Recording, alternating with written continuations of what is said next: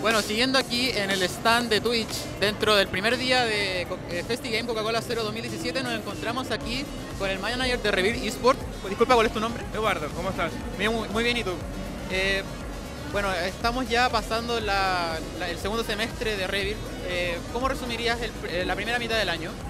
Bueno, la primera mitad para nosotros fue muy, muy fructífera, fue genial haber hecho el cambio de un split a otro de roster nos dio una nueva vida, nuevas alas, nuevas metas. Creemos que estamos muy muy contentos de lo que se ha hecho, tanto como a nivel de staff, de jugador, de organización. Hemos crecido bastante y esperamos seguir creciendo de aquí a los otros años. En comparación con los splits pasados estamos como un poquito más estancados porque teníamos problemas que no supimos resolver, pero con este cambio sí pudimos darle la, arreglar todo y ya partir con un nuevo aire. ¿Y cómo ves eh, el futuro de de la organización en sí? Mucho más alto, o sea, contamos con piezas claves que son nuestro coach que es Genatsu, que en realidad es una máquina dentro de lo que sabe, le encanta el juego y sabe mucho, y, dentro, y gracias a él y en base a él estamos eh, tomando el proyecto del roster nuevo y lo armamos, lo armamos en ese caso. O sea, el roster actual no fue elegido por él, como, como todo se sabe, pero ahora sí lo va a hacer. Entonces se va a dedicar 100% y va a ser su equipo. Por ende esperamos resultados mucho más grandes. Pasemos a lo que haces tú dentro de la organización. ¿Podrías hablarnos un poco de, lo, de cuál es tu trabajo dentro del Revit? Claro, mi trabajo ya tomé un, rol netamente administrativo. Estoy encargado de todo lo que es como finanzas, eh, revisión de personal, cómo está el estado de la gaming house, si falta algo, cómo está el estado con los sponsors. Eh, hay personas que están como en sus roles como predefinidos y ahora mi trabajo es sostenerlos a todos ellos y que todos funcionen bien. Entonces me tengo que estar moviendo por todos lados.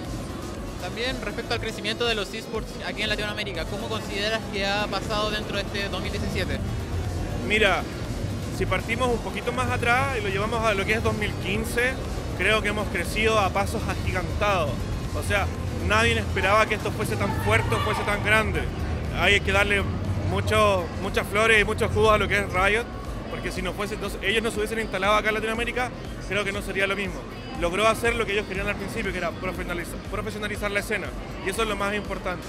Entonces esperamos que este 2017, ya terminando todas las temporadas, entramos todos como a reevaluar cuáles son las metas, objetivos, gran parte de los equipos, creo, y ahora esperando que el 2008 sea más fuerte todavía faltan cosas, o sea, que el mercado se abra más, que los sponsors eh, como se quieran meter más o haya más presupuesto para poder seguir creciendo. Pero como se ha estado dando, es gigante, estamos muy contentos. Respecto a los sponsors, también eh, ustedes fueron una de las primeras marcas en incluir a una agencia telefónica como su sponsor. ¿También nos puedes hablar un poco de eso? Sí, la, la alianza que tenemos con WOM es una alianza muy especial, dado que al principio conectamos netamente por lo que es público. El público gamer es muy cercano al público objetivo de lo que es WOM. Entonces ahí, y en base a como nuestra, nuestra como línea editorial, nuestro objetivo y todo, que somos para subir memes, a veces estamos con la locura, como que nos gusta ir echando para todos lados, WOM también tiene esa casa. Entonces coincidimos muy bien ahí. Y ha sido una, alianza súper fructífera y esperamos que siga creciendo. Bueno, agradecemos mucho nuestras palabras. A usted y sigan dándole, son un portal genial. Muchas gracias.